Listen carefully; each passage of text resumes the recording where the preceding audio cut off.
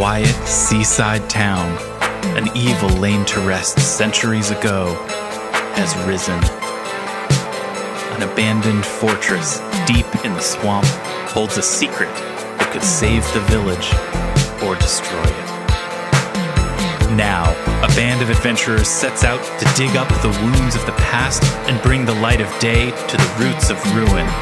This is Tabletop Gold.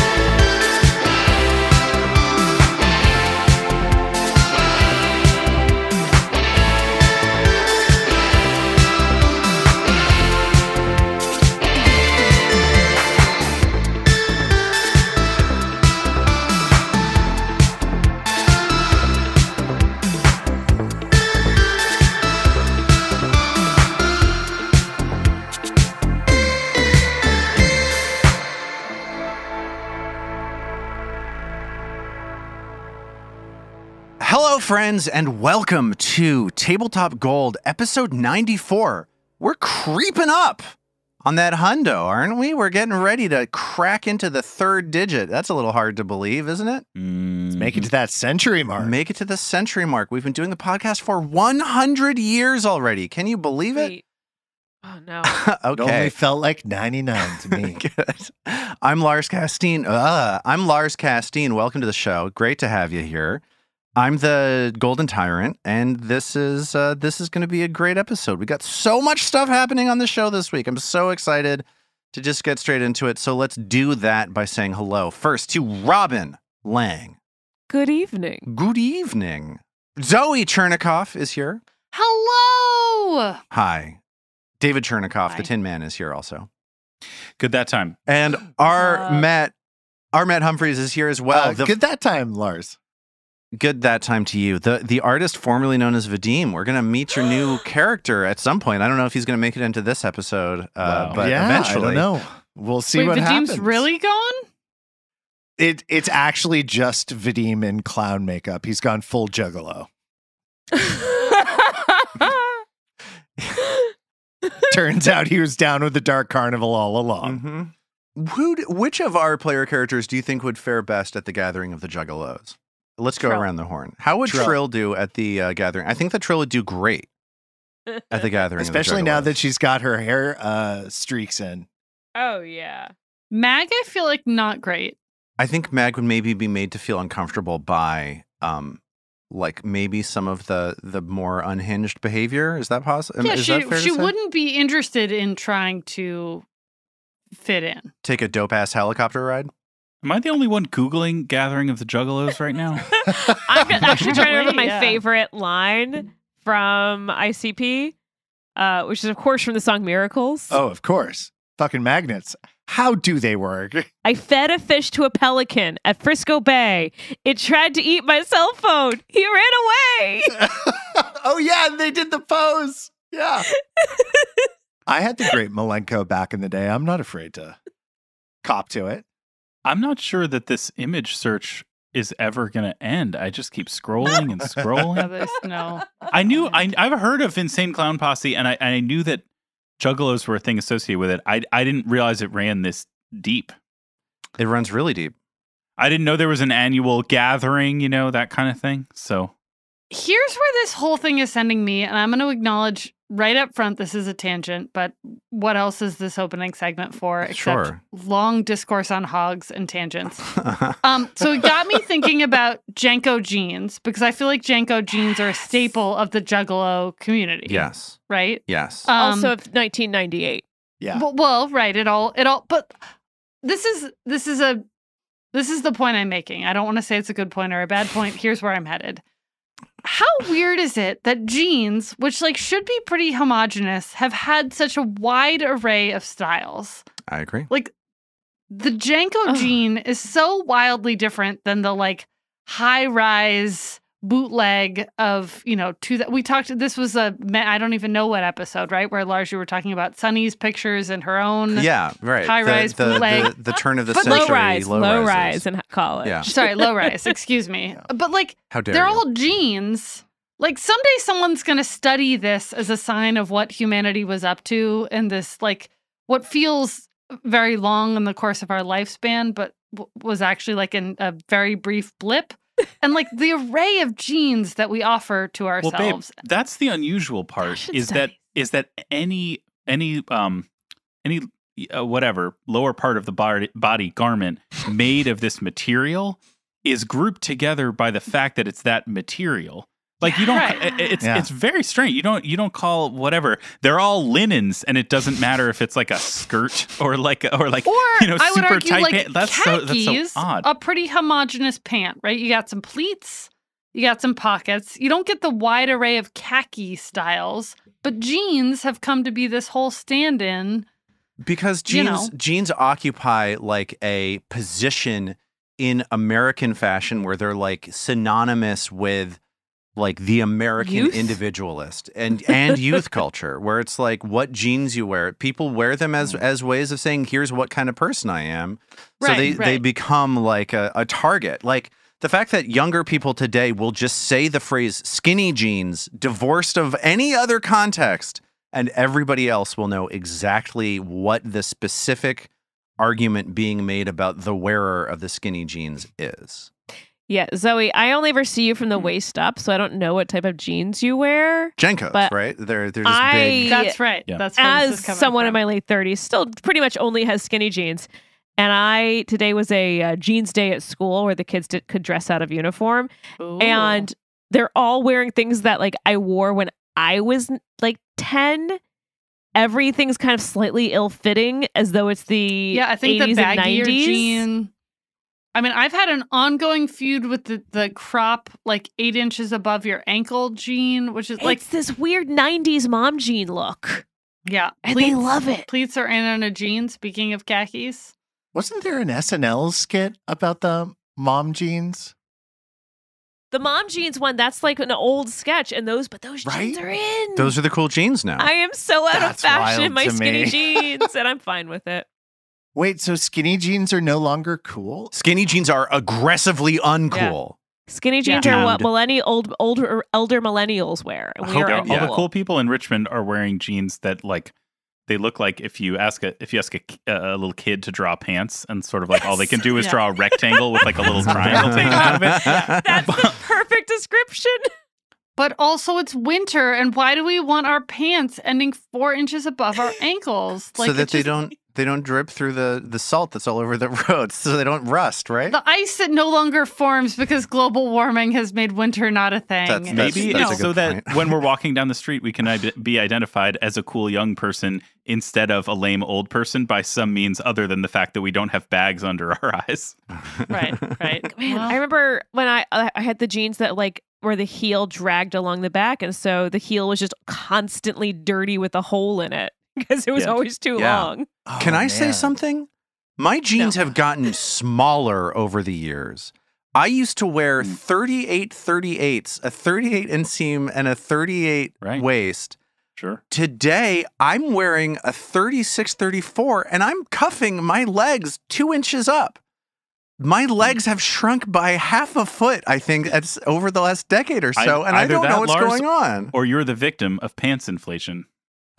Maybe Sunny's just Oh. gaslighting you, and she's changing the labels on your jeans. Could be. Oh, Mm. wouldn't that be the best? What- This would be a, Just this that would be a funny time to find me out that that, Lars doesn't know how to read numbers. It's, I mean, honestly, not being able to read numbers is as as good uh, an explanation as I can come up with. I just used to wear really big jeans, and now I feel like I wear perfectly average sized jeans. Anyway, It's all your heights and your torso anyway. it, it kind of is. well, good for everybody wearing pants out there. If you're wearing pants, why don't you uh, head on over to the podcast apps and and give us a review? Hey, even if you're not wearing pants, just Talk head about how on you love our over there. panter banter. Um, usually we talk about reviews at this point. There's one thing that I want to talk about just while it's still fresh in our minds. We had a great interaction in our Discord that was a follow up on the Vinegaroon conversation that we had like Oh, yeah. several, Which several, one? several episodes ago, where Yes. um, th- uh, Jed on the Discord came by and showed us pictures of his pet Vinegaroon, and apparently Vinegaroons are like extremely gentle, like sweet natured animals. None of you would listen to me. What's that? Thanks, Jed. None of you would listen to me. Thank I'm- you, yeah, Jed. You're you're absolutely right. Robin vindicated, of course. we Once need a. Robin vindicated jingle. Why don't we have one of those? Da-dun-dun. Vindication point.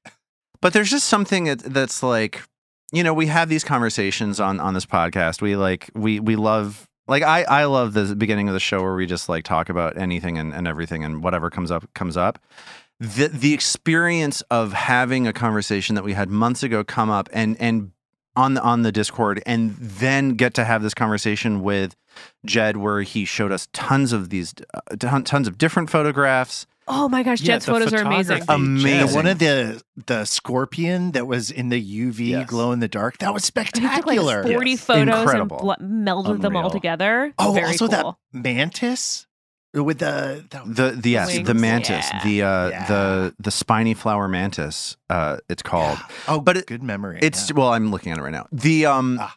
the uh but but it's just like, you know, we have these conversations and they they kind of they, they they sort of sit there for a while b- b- until the podcast comes out. And then and then to have the experience of somebody coming in and and like completing the loop and and and sharing this thing and and us all being exposed to like this whole world of insect photography that uh, none I certainly had no exposure to. Uh, was just like a really cool experience, and I just wanted to say thank you uh, to Jed for that, and to you know just try to talk for a moment about how like nice and meaningful and cool that experience was. So thanks to the whole Discord community. Yeah, we have such a lovely Discord. It's so fantastic. Never change. Okay, let's do it. Let's play our game. Okay. Vadim is gone, but Gauntlight remains. Although its light is not currently shining, somewhere deep underground, the ghost of Belcorra Haruvex continues steadily working towards upgrading Gauntlight's weapon to destroy the city of Absalom. With one fewer person to help you, you set out on the next steps of your quest. Everybody, this is episode 94. This is the last episode before we break off a new five. Use or lose your hero points. Is all I will say. So we're picking up. You use or lose them, Lars. Okay, sorry, you're right. I'm. I apologize. we we're picking up on the first of Sarenith. It's a new month. What is the first thing you will do to continue your mission? Well, I, I think having had a sulky evening alone at Wrin's, evening alone post festivities, Ao wakes up and she's feeling pissed, and I don't even know that she understands why, right? Like she's just sort of feeling abandoned and angry. She's taking Vadim leaving personally, even though I think anyone uh, who's maybe not AO can agree that uh, it had absolutely nothing to do with AO, you, you know, why Vadim left. But isn't that the way we always take these things? Um, Yes. Absolutely yeah, correct. that's how that's how life works, right? That's Yes. that's being alive. Um, I think she, you know, once she wakes up in the morning, she sort of stalks off into town. She's sort of casting about to to prove to what she thinks of as Vadim, but as maybe herself that like he should have stayed. And the one thing he did for everyone in the party was to keep everyone well. And I think we can agree the one thing that Ao and Norman have always thought they did was also keep everyone well. You know, we can go back and count up points who actually did more for everyone. Um, but you know, what are numbers uh, when you get to it in a sort of spiritual level? Fucking Um, magnets. How do they work? And I don't want to know scientists because they're talking shit and getting me pissed. Right, right. So I think Mhm. Ao goes on a little bit of a morning bender. No, no one can lay on hands to get rid of the hangover, right? She has to deal with the, a hangover for maybe the first time in her 16 years alive. And, and I think she's looking for people that she can like help fix, right? From a medical standpoint. But she goes about this in a sort of odd way where she perhaps creates the medical conditions that she's then looking to show everyone she's able to to fix. Ah. And since she has this disguise kit and a penchant for taking things from people, I think she may be wandering around town. I I don't know, Lars, who she encounters, but I think as she comes across people, she's perhaps creating a ruckus, running away, and then um, looking to fix whatever harm she might cause the person to sort of in this spiral of like proving to herself that she she was like she can fix things she was worth staying for she's better at actually healing people than Vadim ever gave her credit for So she's like going off on her own and just trying to solve problems to practice, basically. make them first and then solve them yeah she's trying to create problems and then solve problems. That's right So she's she's doing this uh, uh, in in some extent for a, a pretty long time. I'm going to let the retraining go a little quicker because of how much support you have around the community here. I think that Ao is potentially caught off guard by how willing people are to let her help them. and I think sometimes it's her sometimes it's Norman sometimes it's a pirate The pirate days maybe don't go as smoothly as the other two, those but are slower those are a little Yeah. slower. Is the same instantiation of of Ao Norman pirate causing the issue, or just like the pirate caused the issue and then later on Norman Correct. comes it's along? always a different a different version causing the issue, running away, and someone else appears to solve it. yeah. Okay. But we were speaking ahead of time, and you're going to be retraining three feats. I'm gonna do battle medicine, continual recovery, which will let the time between treat wounds go faster, and then ward medic, which will let me treat more than one person at a time. This is going to be different. This is going to be a pretty big shift for how this party works. Yeah, yeah, and I think like there's been all this sort of masquerading of of AO or Norman being able to fix stuff, and they've never really had to. Yeah. Um, and I think there's self doubt, right? There's this moment of like self doubt, which causes AO to be angry, and like maybe if she had been just a little bit better, she could have been the like Radu that Vadim needed, and he might have stayed. And so she's out dressing up like a chef, stealing people's wallets, and then coming back as a doctor and um, sewing up the lip that she busted open, taking their wallets. That's how you train. This is going to be 15 days of retraining to get all three of these. 15 days of chef of mugging. chef- Of chef mugging. Otari oh, has a chef problem. Yeah, the town is held in the in the grasp of a of a crime spree of various medical Ooh, ooh, problems I- being created, and yeah, I've got the local news anchor hook. What's cooking? Well, Otari has a mad chef mugging the town. I feel like that's Wolfgang Messi on the nightly news. that's right. Oh, I'd watch that. You know what else is I cooking though is the that. weather. The first day of the month is very hot, getting into the mid 90s as this training begins. You see people walking through the village down to the water to to catch some of the chill from the harbor, soothing themselves with uh, paper fans as they go. Each day, as Ao is doing this, we see the Giant's Wheel picking up with a new urgency as they're trying to get through the wood created by the busy season from the loggers' camps nearby before the weather gets too desperately hot. On the sixth of the month, there's a boat race from Absalom that skirts past the village. Large 30 to 40 foot yachts swing past the village at the edge of the harbor as people stand on the docks, ringing bells and calling out words of support to the to the wealthy racers. Some of them getting jetting pushed in the water by an errant hand and then having CPR performed. You know, who knows? And Trill distracts everyone else with music, so no one notices the weirdness. They just see the chef's hat in the water, like just dun dun dun dun A lone dun dun. spatula floating down the current. And on the 10th of the month, it's the celebration of the Burning Blades. This is something that Mag Oh. is potentially involved with. It's a dance at the Dawnflower Library where people have come from all around the region to dip their weapons, whether they're practical weapons that they use or ceremonial weapons. They dip them into, into pitch in a boiling cauldron in front of the Dawnflower Library and light the weapons on fire and engage in a dance of burning weapons throughout the day. Vandy Banderdash spends the entire day looking smug, undefeatable, immortal, just like she feels she looks like so self-possessed in this moment as uh, she knows that it's the safest day to be running a Church of Sarenrae because nobody ever attacks the Church of Sarenrae when people have their flaming weapons out in the front yard. And at the end of that 15 day process, the weather has cooled off a little bit. It's getting into typical temperate late spring, early summer weather. Dew point? 900.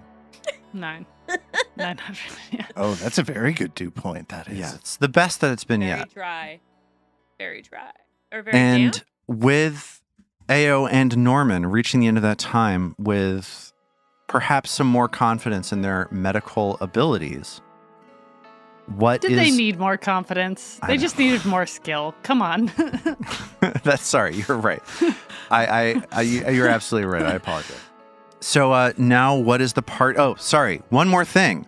Along the way during that downtime, Trill receives a package at Gallentine Deliveries Ah, and is now wearing a much more capable set of leather armor Nice. as she prepares to head back out for adventuring. It's Sarenith the 15th. What is going to happen today? I imagine it's the morning of Sarenith the 15th, and uh, Mag and Trill happen to be going to get a schnook at, at Crooksnook, and they witness what appears to be like a group of pickpocketers, you know, breaking someone's toe, and come to realize that it's like Ao in a whirlwind of costumes and, and confront her about this behavior. Um, and Mag pulls Norman aside. So it is true. It's been you running around and causing all this chaos on the streets here in town. Well, it's it's been Trill too, and he, he reaches back behind him and pulls out a Trill cake and hands it to Mag. I'm not hungry. Norman looks at her and takes a big bite out of the cake. I mean, you know, he left us kind of high and dry. We're all we're all just figuring out what we're doing next, right, Mad Girl? I've just been waiting so I wasn't going back to the keep alone. Just kicking back and relaxing, huh? Having a good old time. Uh, Mag has not been kicking back and relaxing. Mag, uh, without any aim and without any any company, has been scouring the woods aimlessly near town, looking for some sign of the fogfen creatures that have been her, you know, intermittent haunt throughout her life. And w- without anything else to do, but feeling like she has to do something, she's just been tracking around in the in the woods, trying to feel useful and ultimately being pretty useless over the couple of weeks. You know what might make you feel better, Mag Girl? Norman says, getting like a little too close and kind of locking eyes. Want to just hit me?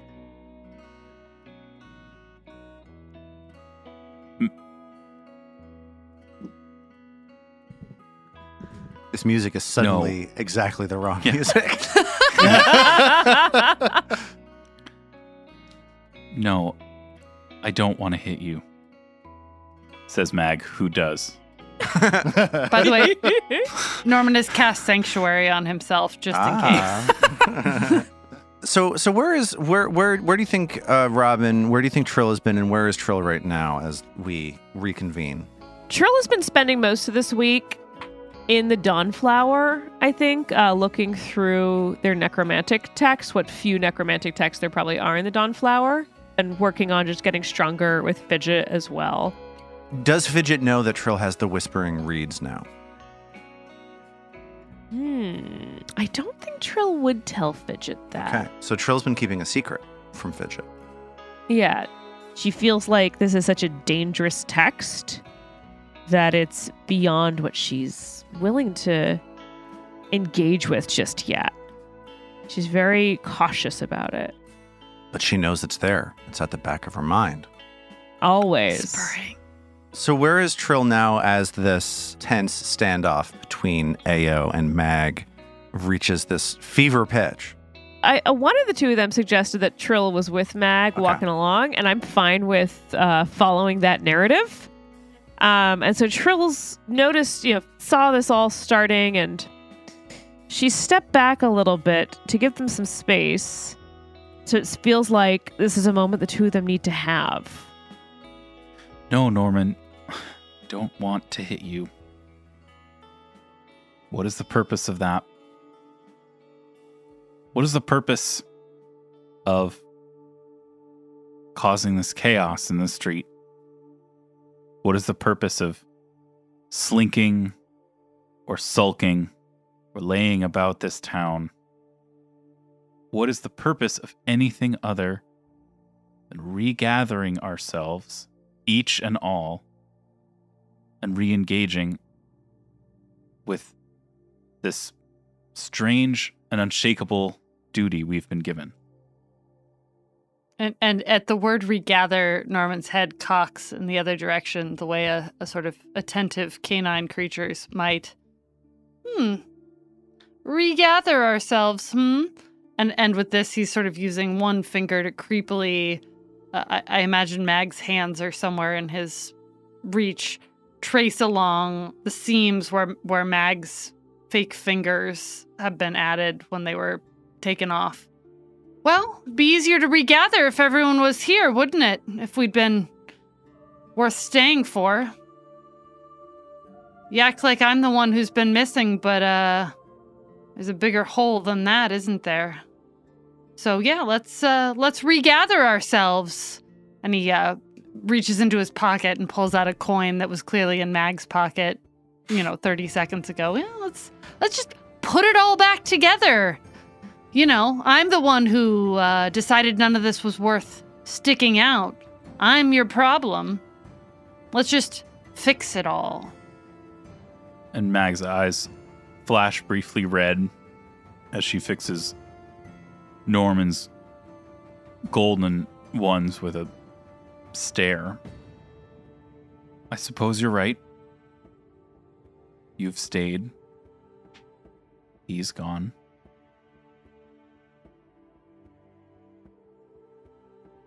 And if he's gone, he's gone. And so, what's our choice? Do we hole up here in town? We find a den to get comfortable in?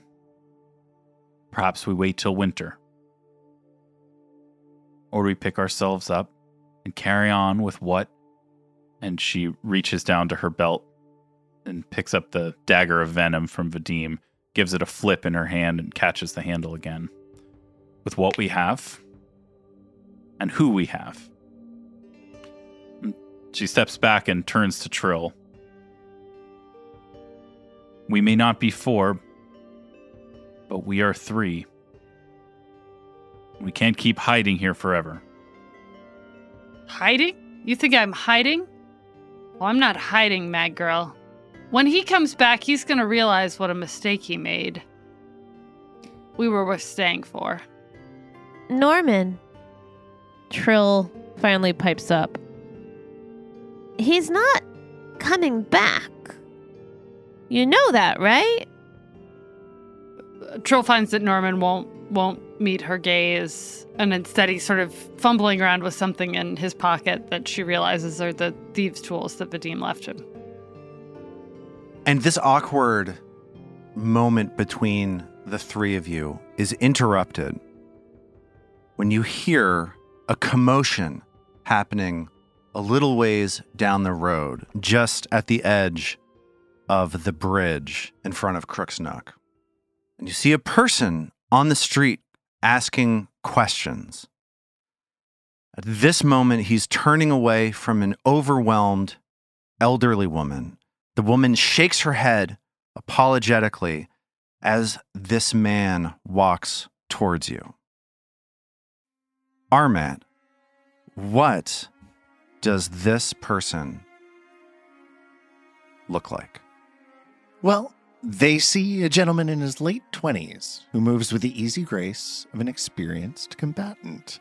He has short, sleek, bright blue hair with a neatly trimmed beard, also blue, and pointed ears that mark him out as a half elf. In his hand, he carries an elegant wizard staff with subtle twisting carvings and what look like well worn reinforced steel caps for striking at either end. Chained to his belt is what appears to be a spellbook or grimoire, along with various pouches, charms, talismans, and, and what looks like feathers. He's wearing a pair of soft leather boots, a blue tabard that complements his hair, and leather trousers, all of which are garlanded with the various straps and attachment points that would allow him to integrate chainmail and a full set of plate armor.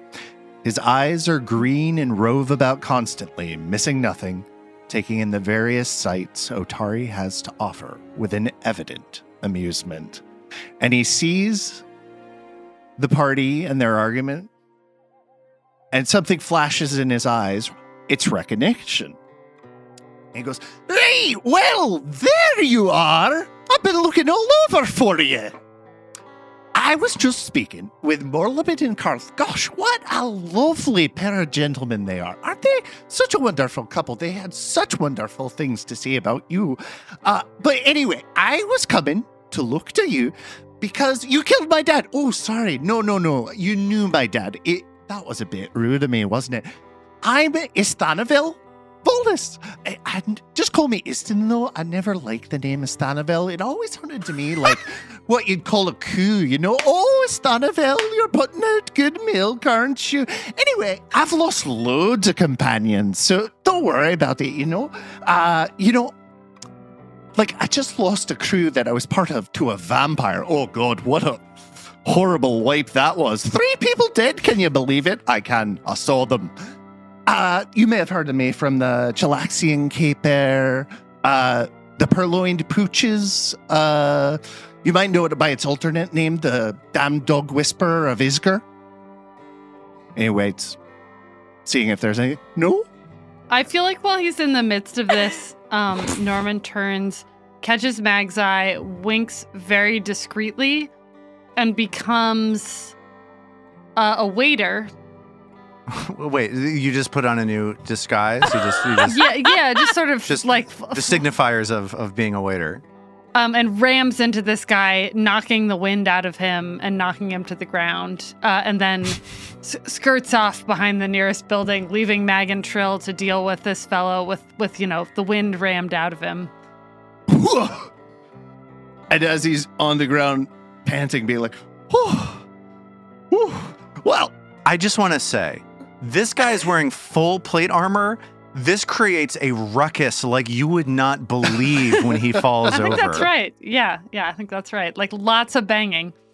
So Mag, a step slower than Norman, realizes as the as the wink happens and the costume change that Norman is about to get into some mischief, and so she's just just a couple of steps behind after Norman knocks into this uh, poor fellow. Um, she kneels down next to the gentleman, grabs him under the top section of his breastplate, and wrenches him up so that he's sitting up where he is and whispers to him, Did you say Volus?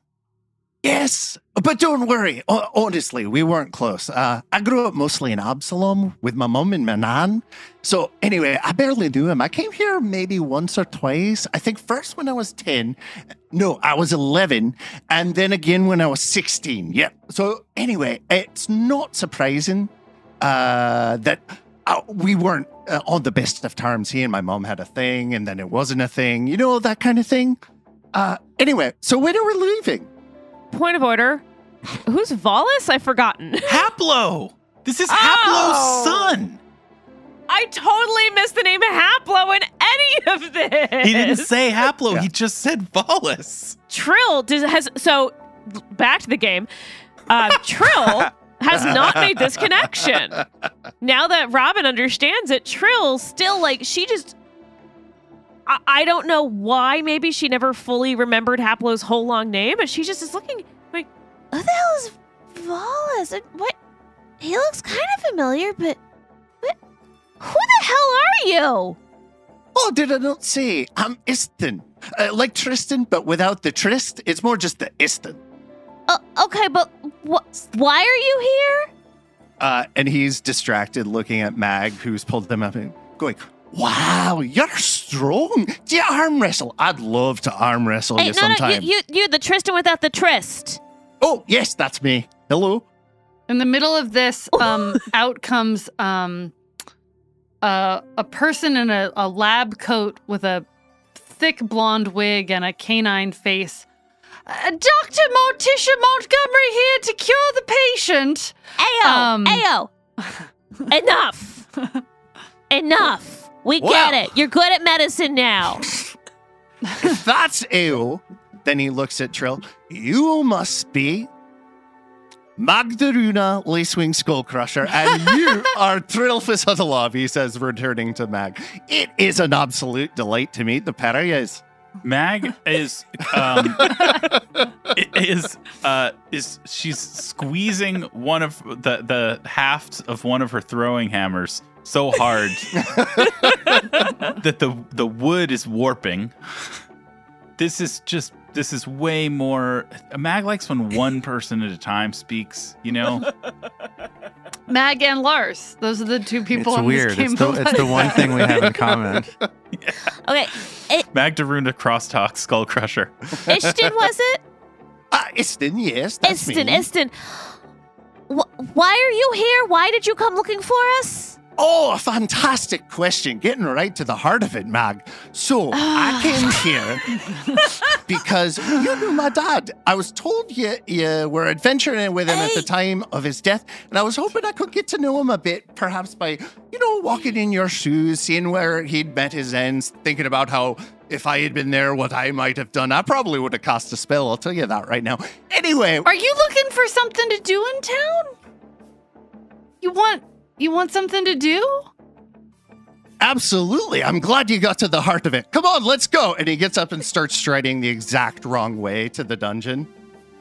Uh, um, and Ao links arms with him and heads towards nothing Bunk kobold. Is this the way to the dungeon? I have to admit, I have Oh. not fully explored. Yes, yes. Are you interested in uh, something where you can turn your abilities into upwards of 400 or 500 percent return yield uh, within a matter of months, thereby benefiting the people of Otari with better nutrition, essential oils, and lavender, eucalyptus, and nighttime shade tree? All by selling cakes that look like Mag- Magdaruna, who you met back uh, there. Are Is you that trying the kind to of get thing? him into doTERRA? Are you making an MLM? Yeah, I don't know how I didn't see it coming that that AO was going to start or that Norman was going to start an MLM, but I certainly should have seen it Obviously, coming. nothing Bunk kobold was an MLM. I I mean, didn't for the like, you guys have just the been pyramid-shaped sitting on that. We're just catching up to her game. It's a long con. I That's love that's how MLMs work. You don't know that you're in you one don't know until, it's, until you're shows in. up in town, and then he's part of the MLM. And all of a sudden there's 150 bucks worth of Herbalife samples sitting on your bedroom floor. Uh, no, no, I'm not interested in that. Uh, I am interested in seeing where my father died, if you don't mind. We weren't close, but I would like to sort of put myself in his shoes, as it were. I'm here in town, Mhm, really, to mhm. sort of now, settle his final. do you mean? I hear you. I hear you. Do you mean the first time or the second time that we killed him? Like I was just going for pure shock value now. You killed him twice. We did. Oh, well, there's a story there I need to hear. No, no. Oh, Trill, don't act like we've processed this. We had to do away with his undead corpse that was risen from the dead. We did not kill him. Fascinating. Well, it sounds like you have been having quite the adventure, and I would dearly love to hear more about it. As we go to the dungeon, eh? Any takers? Any takers? He points to Mac Trillfus. Eh? I'm I'm Trill. Really? Oh, well, it is a delight to meet you. And he does a low, like, elaborate bow, uh, tucking his staff behind him, and then tosses it up on his shoulder. Right, so we're off, right? I'm I'm weirdly charmed. Okay. Um, and Mag, who has been um, skulking a little bit behind this uh, incredible display, um, closes the distance between them and says, That's right. She's Trill. I'm Magdaruna Skullcrusher. Here's a reminder. And she slings the maul off of her shoulder and, in a single motion, hefts it high above her head, leaves it pause just a moment at its apex, and then brings it down very heavily onto a rock nearby, which is crushed to sand. Wow, that was a strike there. I can do strikes too. Come on, I bet I can kill more monsters in the dungeon than you can. Huh? Takers. First round is on the loser. How's it sound? Yes? No? Young elves are weird. Oh, half elf. Just half. It sounds like the right idea. And I'll also have you know, well, we act with discipline. And we act with forethought. And we act with care for our mission and for one another. So, you're welcome to join. We'll have any of your skill and your enthusiasm with us. But don't act rashly. Throughout the mag speech, um, Ao has been using Mage Hand to feel in Ishthan's Ishthan, yeah? Istin. Ish, Just like Ishthan. Istin. Uh, Is- Isthan. Okay. In No, no th, just tuh. Ta, just Yeah. Istan. Istan. Istan. Um, in Istan's pockets to try and one see if there's anything of value she can steal, and two see if there's any. Do- She's like det- um, sensing motive, right? Like checking to make sure he is who he says he is. Like, can she find any Oh, sure. documentation Yeah, on him? here's what I'm going to tell you. The first thing that your mage ha- hand discovers is that this dude is jacked. The muscles in his legs as you are like frisking him with your mage hand, you you realize that this guy in addition to having this voluminous knowledge about all of these different topics he's he's telling you about is built like an Olympic athlete. So he's. You, you might say he's not a dex build. He's a strength He build. seems to not be a dex build. uh, someone learned certain lessons from that kerfuffle. The Ustalavian upset. Y- You see nothing to indicate that he is lying to you about any part of this. Shall we head on? And this time starts walking what he thinks is the right direction to the uh, dungeon towards the docks. Oh God, is he? He's not that bright, is he? she says to Mag. He knows a lot, but oh my God! Trill and Trill kind of runs after him and grabs him, and also then notices the strength that uh, the that the mage hand was able to figure out. She kind of pauses, goes, Oh, you're a. Ooh, you, you're a bit strong, aren't you? What? Why don't you uh take my hand and walk with me, and I'll lead you the right way. Oh, with pleasure. And he does another sort of elaborate formal bow and uh, walks with Trill towards Gauntlight. Oh, I, I kind of like him. I think Ao's walking a, a solid 20 feet behind, unwilling to miss out. Like it's like a FOMO situation, but super not into this. And like perhaps um, zapping foxfire into plants and like lighting them up and then sort of like tossing water on them to get at her frustration at the whole thing. And after about a 20 minute walk, which I'm sure is punctuated by many digressions and uh, anecdotes, Trill noticing how strong he is. I also think on the walk, um, he'd like to, he'd be asking about uh, the party's adventures in Gauntlight and to be caught up on their uh, stories of uh, trials and tribulations and triumphs. Trill sings a few verses she's written. I, I don't have them right now, but Trill, uh, yeah, Trill plays a bit of music and sings some songs of their travels and adventures, all bard like. Oh. Istin claps along sort of off rhythm and tries to do a little shuffle step, but It's not, a great. dex fault. Yeah, out. not a dex Well, fault. Just, His plate just, armor Just stand there and be pretty. Just walk there and be pretty. Okay. As the final lines of Trill's song reverberate out from her lute, the four of you look around and you realize that you are standing outside that outbuilding on the ground floor of Gauntlight where Haplo met his doom. Um.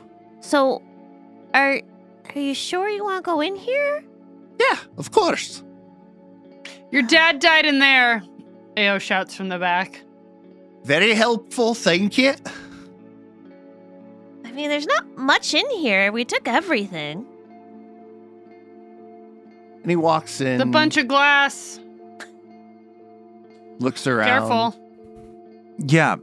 Iston walks in to this um, study where you first met Tangletop.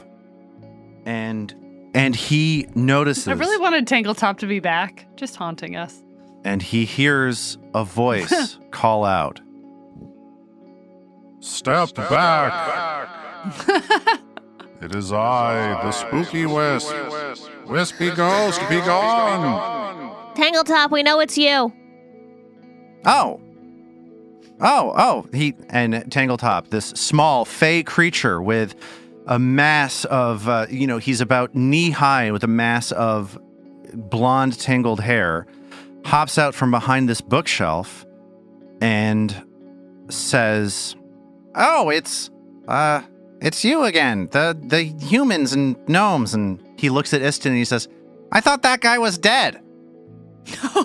So, you're the fiend that killed my father. Wait, wait a minute, wait a minute, wait a minute. No, no, no, no, no, no, no, no. No, I didn't kill him. Let, let me tell you, these three idiots killed him.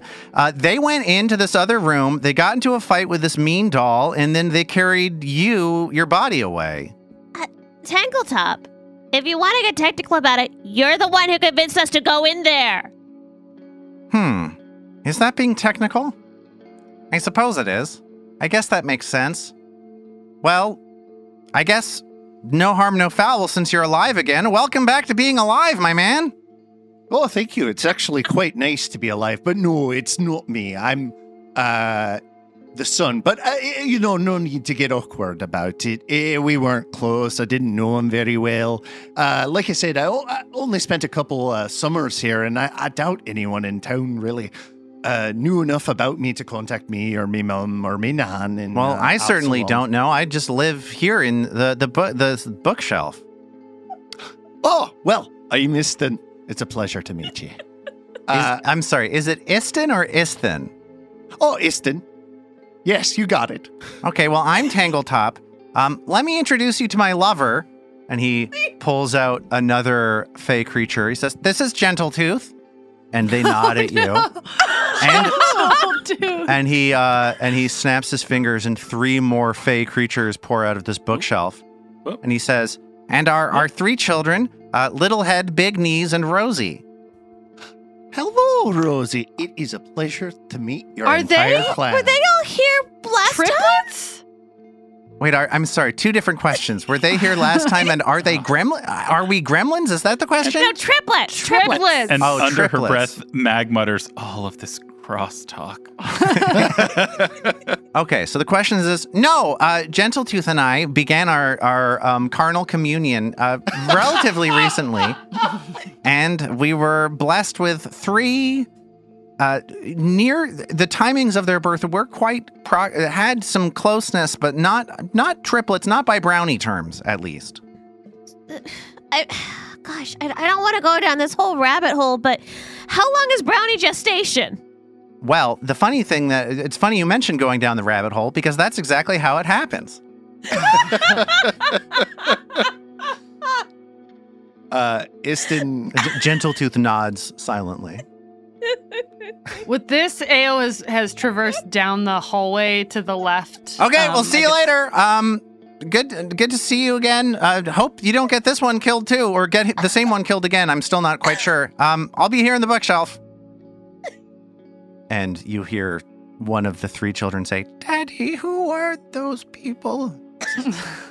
They're evil monsters who killed their friends. Um, A- Aowa's gone down past the portrait of Volluk Azrinae that's in the hallway um, to the doorway to the the room where Haplo died. I believe, like right in that. Yeah, Haplo died right? right on the right in this hallway leading into the lens workshop of Volluk Azrinae. As the chatter from these brownies uh, reverberates in the study behind you, and you sme- you see a small blood stain on the stone floor in front of the portraits of Belcorra Haruvex and the defaced portrait of Volluk Azrinae and of course, also the landscape showing the city of Absalom being destroyed by ghosts rising from the city streets in flames. This was it. You wanted to come here. This was it. And Ao's like sort of suddenly uh, emotional. It, it was right here, and she points to the blood stain. I, I mean, this whole place. We don't even know. It, it's gonna it's gonna take weeks or months or or years to figure out what that light is doing. And she points to the picture. Like none none of this is really a narrative except in her mind. It, it the light. It's the light that can speak to us, and it tells us it can tell you what to do and it can make things happen. And if we could just figure out what it wants from us and give it what it wants, we'll be able. Uh, there won't be any more. And she points at the bloodstain. We just need people who care enough about figuring out what to do with the light to to keep it from doing that. And she points at the picture of the ghost coming out of the grave. We can we can control it. It it, it I can control it. But that's where it was. And she points at the bloodstain again and sort of stares out into the room with her eyes kind of glazed over. Aniston is quiet for a moment, looks to Ao, says, Right, uh, not sure I got all of that, but this is where my dad died, eh? Yes, yes, right there, right there. Right there. And- And it was so fast. That's the thing with this place. You don't always know what's coming. And then someone's dead or they're gone. They just leave. Oh yeah, that all happened with adventurers. Can't rely on them, really. Uh, follow-up question. And he points to the picture of Absalom in flame, uh, like swarmed with a nightmare of ghosts. That's what you're trying to prevent, yeah? And she she like turns suddenly keen on him. That's what we're trying to control. Ooh. Can we stick with prevent? My nan lives in Absalom, and I got to say, I really. I don't think she'd take to co- ghosts. I, I just don't think she'd cotton to him. I'm sorry. I- I- it's just, it's nothing against ghosts. You know, I'm sure there are some ghosts out there that are perfectly lovely. Well, they're not people, but they're perfectly lovely, is my point. Some Uh, were people. They were people, former people, ex people. So, anyway, what floor were you on? H- how you know about the? F- oh, I guess you know about the floors from me, from the songs. Yeah. It sounds like what you're doing here is. And he looks briefly at the blood stain on the floor. Important work. Uh, if It's- that's what you're trying to prevent. We're we're trying to save everyone, Well, some of them you could lose, that's for sure. but who are we to decide? Oh, I'm pretty good on deciding. I have a number picked out I would be not sorry to see. Let me tell you. Oh, okay. Let's um. Ayo, you you doing okay? You ready to solve some mysteries? And then Ao sort of looks at Trill and has like a very sort of sallow smile on her face, and she goes, "Yeah, potato, potato." Um, in in reference to the prevent versus um, control discussion, but perhaps somewhat cryptically. Well, it sounds like it's decided then. Hey there, Magdaruna. What do you say? First round on the tavern. Whoever kills the most monsters, eh? Whoever prevents the most of that, says Mag and points at the picture. Aniston smiles and says, Fair play to you. You're on. And wandering down the hallway, Ao mumbles to herself, Whoever can control the light. So, as the four of you push down into the dungeons below Gauntlight, where would you like to start your investigation from? I'm trying to remember what the map looks like down there. Oh, you're loading it. Yeah, Thank you. so on the Yes, fifth floor, there were a couple of rooms that you have not yet explored, but you have seen the, the doors to. There is a door that you have not yet opened near Chafkhem's office, the mummy that was the former arena administrator. There is on the hallway where you faced the specter that took control of Mag, the most recent fight that you had. That hallway continued to the south, 10 foot wide hallway continuing down for some distance. And those are the main leads that you have now that you have not yet explored. Aside from the doors lurking within that chamber in which Vadim set off that trap with the spinning blades, which seems like it is potentially not the safest place to go. I am okay with going back to the hall we never finished um, going through. I don't know, it's then what calls to you, huh? Anything that I can do to uh, outdo this in here, eh? Eh? Eh? Oh, and he sees it's not really landing. He goes, All right then. So the four of you work your way down these five flights of stairs, weaving past the library, past Belcorra Haruvex's personal chambers and dining room and so on on the fourth floor. And you find yourselves in this 10 foot wide hallway after passing through a large room filled with chains and a, a pit opening up into the floor below. And there are two open doors on your east and west the door leading into the surgical room where you fought the specter, and a door leading off to the east where you found some supplies. The hallway extends to the south. Well, do those stairs lead down? There's an intersection here. There's a hallway leading off to the east, and then a, a short set of of stairs leading down underneath underneath what looks like another tunnel leading from the east west. This is not like a full set of stairs leading down. It's just a a small recess down into a lower landing on this arena floor. Well, uh, you know this dungeon better than I. Do you want to go left or do you want to go straight ahead and down? I'd rather see you on this level first, get to know you before we start heading further down. Left it is! And he strides confidently off with uh, not a whole lot of uh, worry or thought. Ao under her breath again goes, We call it clockwise.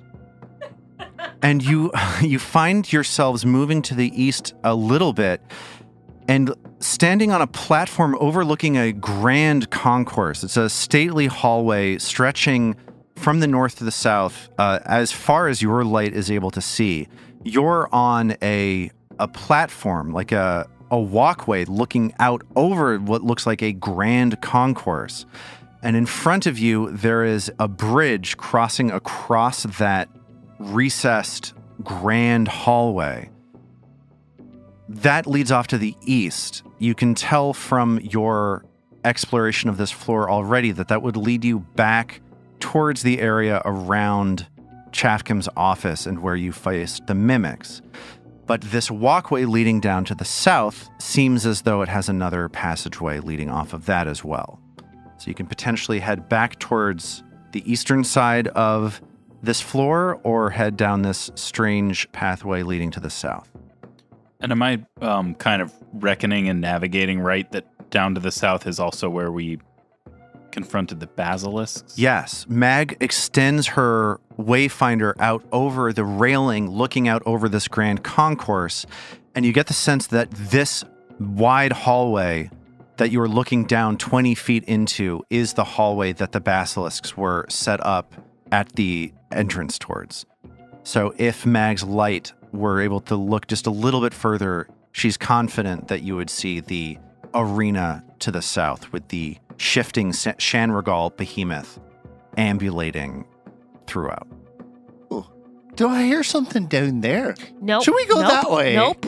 Nope. And he No, you, starts nope. You don't hear anything. Just She grabs him his waistband. But as you step down in that in that direction, you you see yourselves looking into the ju- that recessed stair that you just saw a while ago. You get the sense that you see the bridge leading across that. So it's sort of a figure eight of a hallway that you're that you're seeing, and there is a ten foot wide hallway leading off to the west from here. So, not south. How about west? Trill walks on. Okay. Oh, it's getting a bit dark down here. Could you bring the light? Um. Oh, what? Oh, he's got a. You've got a staff, don't you?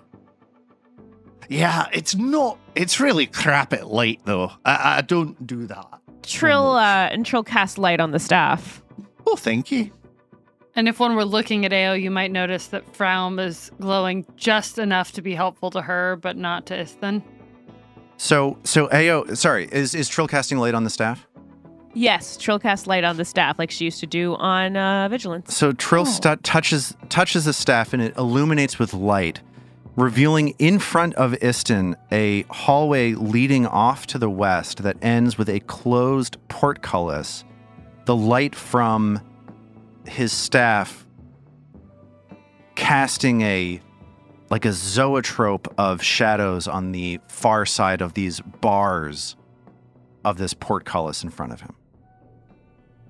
Have you gone through here? no. No, this is this is a mystery. Oh, I do love a mystery. I'll bet you do, Ao mumbles to herself. Can we find a way through these bars? Yeah, Iston takes a close look at the bars and sees that they appear to be partially melted. Hmm. Taking a closer look at these bars, he, he gets the sense that that this this portcullis here could either be lifted or somebody very small could slip through. But he he knows that he's too big to get through this gap in the melted bars. Would Trilphus fit? Trilphus gets the sense that she could fit with a little bit of work. She could try to slip through with acrobatics. Yeah, Trill decides to try and wiggle her way through. Okay, so the four of you approach this portcullis. Iston notices that some of the bars are melted, and Trill attempts to flip through using her acrobatics. And did an acrobatics check. So that was a 27. So Trill is able to very easily tumble through this gap created by the uh, the melted sections of the bar of the bars. As she's passing between this gap, she smells what's what seems to be a powerful acid, as though some kind of acid melted one of these bars. It smells pretty bad in here. Uh, Trill starts looking around to see if there's any way from this side to pull up the portcullis. So Trill notices that on this side there are there's a set of double doors behind her. She's sandwiched between these lowered portcullis bars and this set of double doors, but she notices that on her side of the portcullis as she looks out across the bars to the other three in the party that there are arrow slits leading off to the north and south. Like a small gap in the Yeah. in the stone that she could, goes to investigate. Sure. And she looks first to the north and then to the south and sees that both of these seem to be guard chambers that would have been uh, stationed with archers to protect this door, just like the portcullis is meant to protect uh, the door. She looks into both of these chambers and sees cobwebs strung between the walls on either side. And from this vantage point, that's all she's able to see. Is there any way to um, dismantle the portcullis? Uh, you know, taking a look at its it? mechanism, and couldn't it be? Mag looks at this and gets the sense that she could potentially lift this open. Oh, is there any sign that it might have any kind of a booby trap? Mag starts searching around for traps and doesn't see anything. All right, um, Mag will. Um, I guess she's going to need to. Uh, It'll be an athletics check. yeah, and she's going to need to put down her, or you know, strap her weapons back to her back. hmm So, um, I'll give it a shot. Um, can Iston aid Mag Sure. in that attempt? Yes. Awesome. I'm also imagining that now all exploration is unendurable because Iston is just prattling on. like the urge to get this thing done quickly so that he stops telling a story about like the bar brawl with a half orc back in Absalom or whatever just ends. Yeah, I don't know if you. I don't know if you have to imagine that very hard.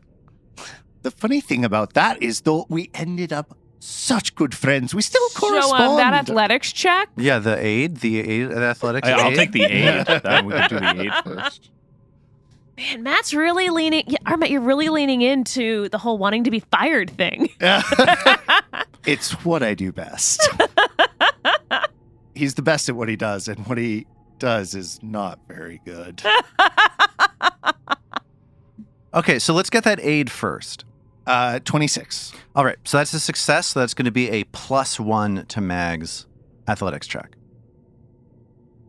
And that is a 29 for Mag with the plus one, I guess makes it a 30. Okay, That's so do it, right? Yeah, absolutely. The two of you start working together, grabbing a hold of these bars, uh, lifting, of course, with your knees, Yes. and you're able to form. together just shove this creaking, like bits of rust powder start flaking off of the the portcullis as it starts moving through these holes in the ceiling, and you shove it up slowly at first, and then slamming it upwards. The two of you side by side, lodging it in place as it creates a pathway forward for you. So that's what it's like to have two strength builds. And now the four of you are all looking at this double door leading off to the west. Well, I think Mag is ready to open it up. You ready for your first new door, Ashton? Oh, I love a new door. Let's see what's behind it, eh? And he pushes the door open. And as you push the door open, you, for a moment, find yourselves looking into a octagonal room. Just like a brief second, the doors slide open. You look into an, uh, into an octagonal room. Then suddenly, you hear the sound of a magic spell being cast, and you just see darkness in front of you. All light is removed from the room. Can we see anything at all, or is it just complete blackness in there? You can see nothing. It's like a, a curtain of blackness on the door as you walk in, or as you Does- open the door and look in a brief moment later. Does Just a- that extend? I feel like Ao hung right in the door frame as everyone else went in. Does that extend outside the room? Ao looks at the darkness for a second, and it's just like a rolling curtain of blackness passes past her. All of you are are in complete shadow, just no no light that you can see in front of you. And you just hear the sound of a sword trailing along the stone floor. And you hear a whisper from within the darkness in front of you. Yes. Come closer. And we will pick up from there next time. Maybe we should leave? I'm I'm one foot out the door already. I get the sense Iston's gonna stay.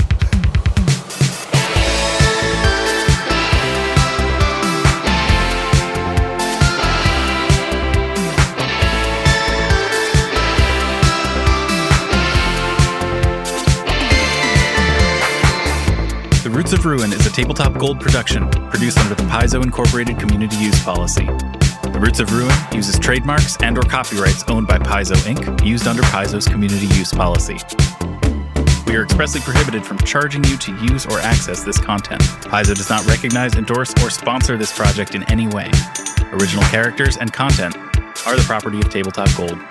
For more information about Paizo Inc. and Paizo products, visit paizo.com. We at Tabletop Gold would love to hear from you.